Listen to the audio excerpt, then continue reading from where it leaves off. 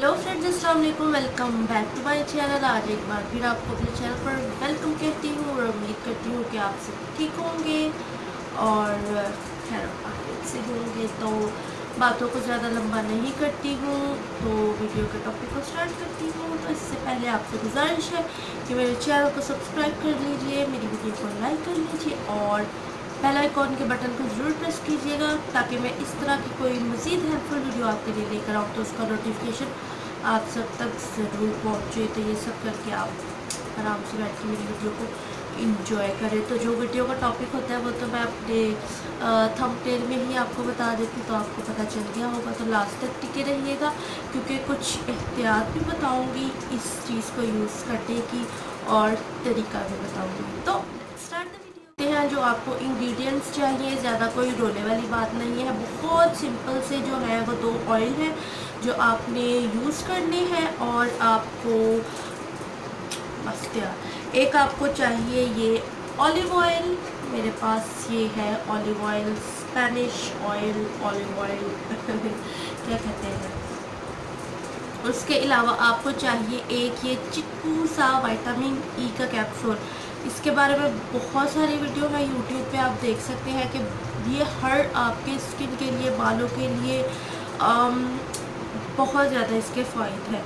तो ये आपको बिल्कुल पाँच रुपए में मिल जाते हैं। कभी ज़माने में दो भी पाँच रुपए के मिलते थे लेकिन आई थिंक अब जो है दस रुपए का ये एक कैप्सूल हो चुका है। तो महँगाई इतनी बढ़ रही है और इतनी तड़कती भड़कती गर्मी पड़ रही है पर खैर नहीं। हमें कहीं भी नहीं जाना, हमें बस घरों में बैठना है और एहतियात करनी है।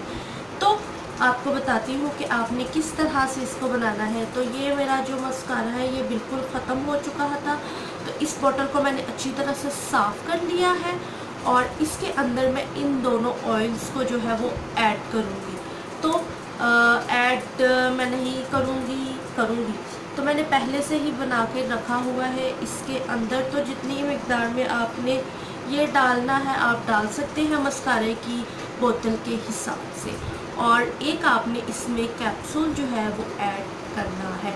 तो आपने रात के टाइम में इसको सोने से पहले जैसे आप नाइट क्रीम अप्लाई करते हैं, अपनी अंडर आइज़ के नीचे क्रीम अप्लाई करते हैं, इसीलिए अपनी लैशिस को ग्रो करने के लिए आपने रात के टाइम इसको अप्लाई करना है। सुरमा जो मिलता है पाउडर वाला, आप वो भी इसमें ऐड कर सकते हैं।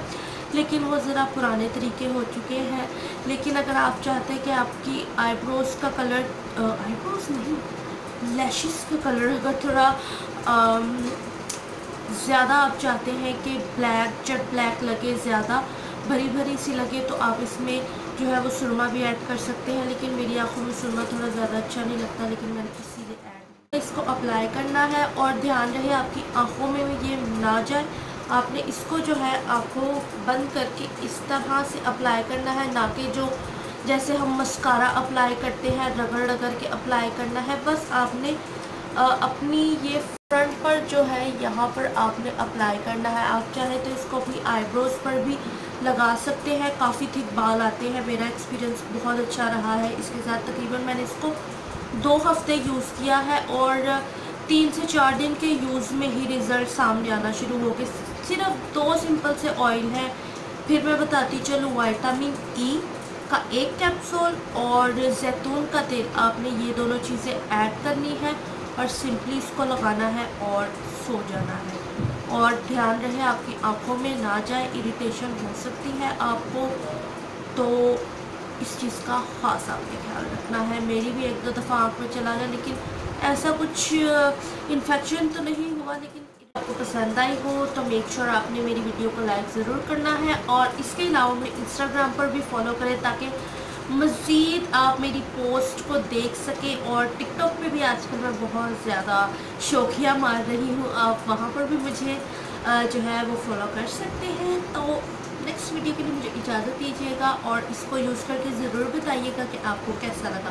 तो नेक्स्ट वीडियो के लिए मुझे इजाज़त दीजिए और अपना बहुत सारा ख्याल रखिए